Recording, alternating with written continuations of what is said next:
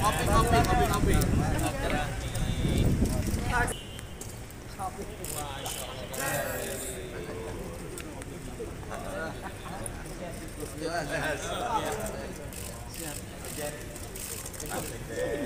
Hari berkah kedatangan Pak Soebul Iman, kedatangan Pak Sekjen yang ganteng.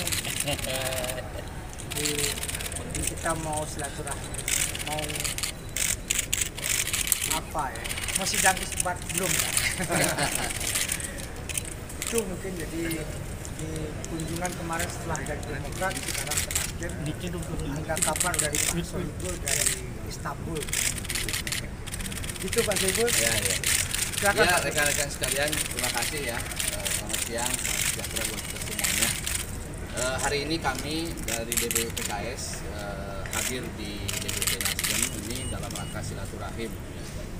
Eh, karena kebetulan eh, kami ini sudah lama ya, tidak berjumpa dengan Bang Surya Paloh. Kalau dengan Kak Willy, Pak Sugeng itu di tim kecil tiap pekan kita ketemu.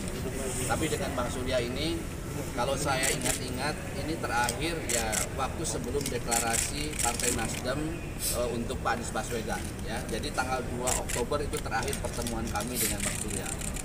Karena itu dalam jangka waktu yang lama ini tentu ada rasa kangen lah di antara kami. Ya kami tentu sekarang ada kesempatan untuk berjumpa Bang Surya Paloh dan kebetulan saya dengar dari Pak Sugeng, dari Kak Widi juga bahwa Bang Surya ini kesehatannya sedang kurang fit ya. Karena itu saya datang ke sini tentu adalah menjenguk beliau untuk kemudian juga berharap ya kita doakan supaya beliau eh, cepat sembuh gitu ya, eh, sehat kembali. Saya kira itu intinya. teman. Pak dari Istanbul apakah sudah melihat hilal tertentu gitu Pak? hilal apa itu ya? Kan yang sudah saya sampaikan itu hilal.